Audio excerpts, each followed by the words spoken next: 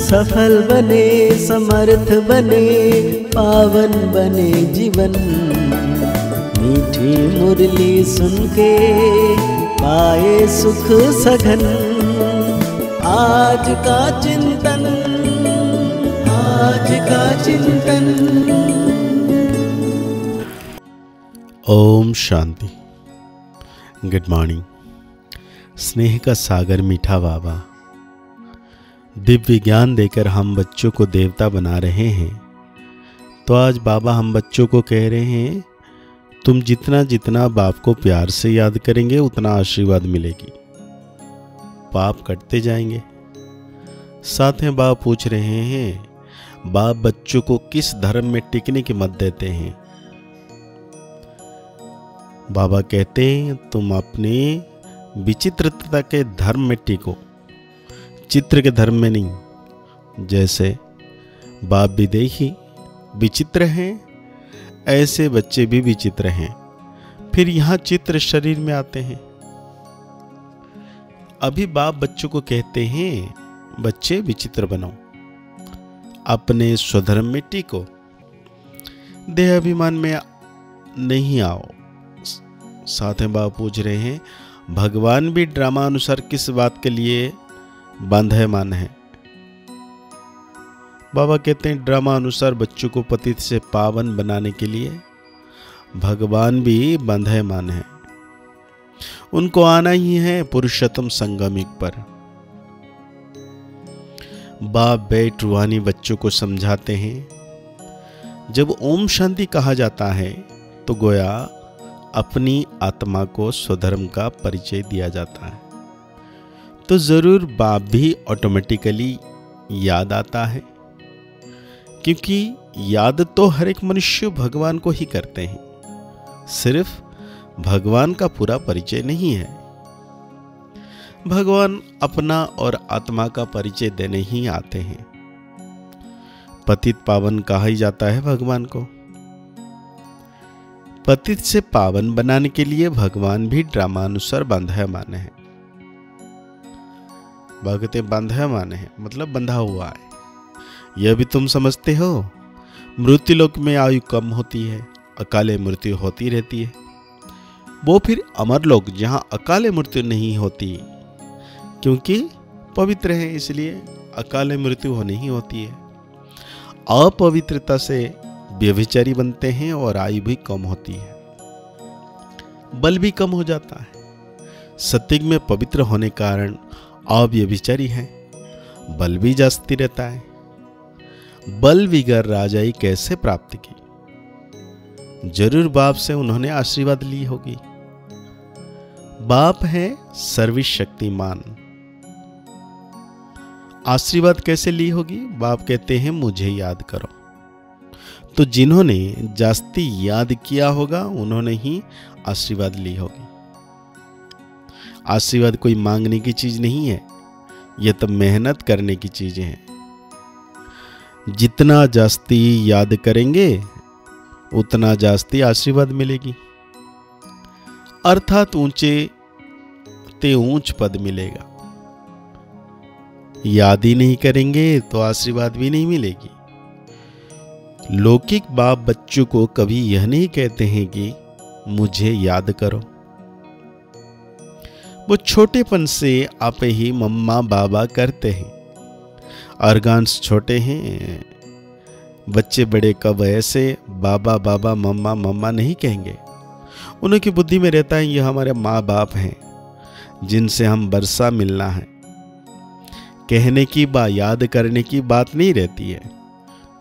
यहाँ तो बाप कहते हैं, मुझे और बरसे को याद करो। हद के संबंध को छोड़ अब बेहद के संबंध को याद करना है। बाबा कहते हैं, आशीर्वाद कोई मांगने की चीज़ नहीं है, ये तो मेहनत करने की चीज़ है। जितना जास्ती याद करेंगे, उतना जास्ती आशीर्वाद मिलेगी। तो बाबा कहते हैं, मुझे बड़े प्यार से याद करो। गति कहा जाता है मुक्ति धाम को। और मुझे याद करने से गति सदगति मिलेगी। सदगति कहा जाता है, फिर सुखधाम को आ। कोई भी पहले आएगा तो ज़रूर सुख ही पाएगा। बाप सुख के लिए ही आते हैं, ज़रूर कोई बात डिफ़िकल्ट है, इसलिए इनको ऊंच पढ़ाई कहा जाता है। जितनी ऊंच पढ़ाई, उतनी डिफ़िकल्ट भी होगी। सभी तो पास कर ना सके। बड़े ते बड़ा इम्तिहान बहुत थोड़े स्टूडेंट पास करते हैं। क्योंकि बड़ा इम्तिहान पास होने से फिर संस्कार का पगार भी बहुत देना पड़ेगा। कोई स्टूडेंट बड़ा इम्तिहान पास करके भी ऐसे ही बैठे रहते हैं।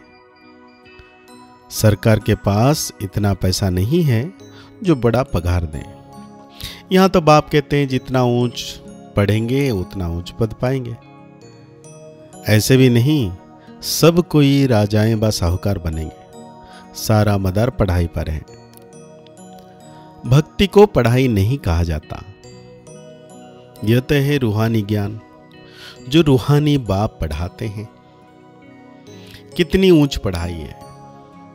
बच्चों को डिफ़िकल्ट लगता है, क्योंकि बाप को याद नहीं करते। तो करेक्टर्स भी सुधरते नहीं हैं। जो अच्छा याद करते हैं, उनके कैरेक्टर्स भी अच्छे होते जाते हैं। बहुत बहुत मीठे सर्विसेबल बनते जाते हैं। कैरेक्टर्स अच्छे नहीं हैं तो कोई को पसंद भी नहीं आते हैं। जो नापास होते हैं तो ज़रूर कैरेक्टर्स में रोला है। श्री लक्ष्मी नारायण के कैरेक्टर्स बहुत अच्छे हैं। राम को दो कला कम कहेंगे। भारत रावण राज्य में झूठ खंड हो पड़ता है। सच खंड में तो जरा भी झूठ हो ना सके। रावण राज्य में झूठ ही झूठ। झूठे मनुष्य को देवी गुण वाला कह नहीं सकते। यह बेहद की बात है। अभी बाप कहते हैं, ऐसी झूठी बातें किसी को ना सुनाओ, ना सुनो। एक ईश्वर की मत को ही लीगल मत कहा जाता है। मनुष्य मत को इलीगल मत कहा जाता है। लीगल मत से तुम ऊंच बनते हो, परंतु सब नहीं चल सकते हैं। तो इलीगल बन पड़ते हैं। कई बाप के साथ प्रतिज्ञा भी करते हैं। बाबा, इतनी आयु हमने इलीगल काम किए हैं। अभी नहीं करेंगे।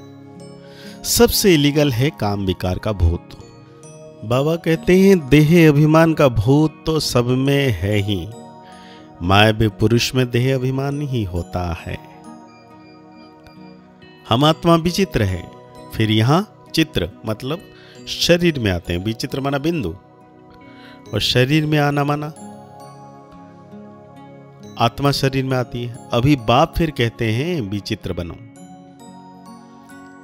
बाबा कहते हैं, शिव बाबा को सिर्फ़ गुलाब के फूल ही चढ़ाए, परंतु नहीं, अक के फूल भी चढ़ाते हैं। बाप के बच्चे कोई फूल भी बनते हैं, कोई अक भी बनते हैं। पास नापास तो होते ही हैं। खुद भी समझते हैं कि हम राजा तो बन नहीं सकेंगे। आप समान ही नहीं बनाते हैं। साहूकार कैसे? कौन बनेंगे? वो तो बाप जाने। आगे चल तुम बच्चे भी समझ जाएँगे कि यह फलाना बाप का कैसा मददगार है। कल्प कल्प जिन्होंने जो कुछ किया है, वही करेंगे। इसमें फ़र्क नहीं पड़ सकता। बाप पॉइंट्स देते देते हैं। ऐसे ऐसे बाप को याद करना है। और ट्रांसफ़र भी करना है। जितना याद करेंगे, ट्रांसफ़र होता जाएगा। ऐसे नहीं कि ऊँचे ते ऊँचे नाम रूप वाला है। इतना समझते हैं ऊँचे ते ऊंच भगवान है, ऐसे नहीं कि ऊँचे ते ऊंच नाम रूप वाला है, वो है ही निराकार। फिर ऊँचे ते ऊंच साकार यहाँ आते हैं। ब्रह्मा, विष्णु, शंकर को देवता कहा जाता है। तो आज बाबा हम बच्चों को धारणा के लिए कहते हैं, ये रूहानी पढ़ाई बहुत ऊँची और डिफ़िकल्ट है। इसमें पास होने के लिए बाप की याद से आशीर्वाद लेनी है। अपने कैरेक्टर सुधारने। अभी कोई भी इलीगल काम नहीं करना है। विचित्र बनना अपने स्वधर्म में टिकना है।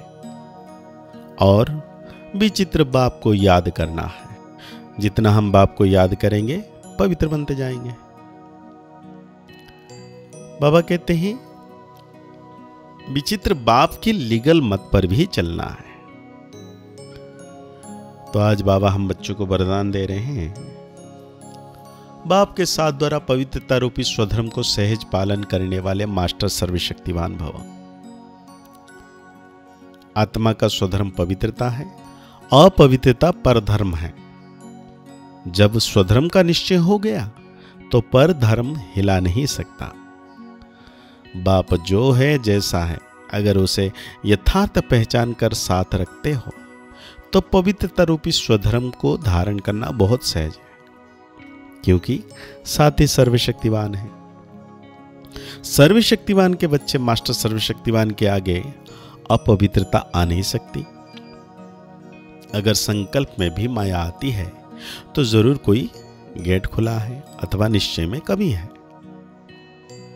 तो आज बाबा हम बच्चों को स्लोगन दे रहे हैं, त्रिकालदर्शी किसी भी बात को एक काल की दृष्टि से नहीं देखते। हर बात में कल्याण समझते हैं। तो आज की मुरली के अनुसार हम सो सोमन लेंगे। मैं, मास्टर सर्वशक्तिवान आत्मा हूँ।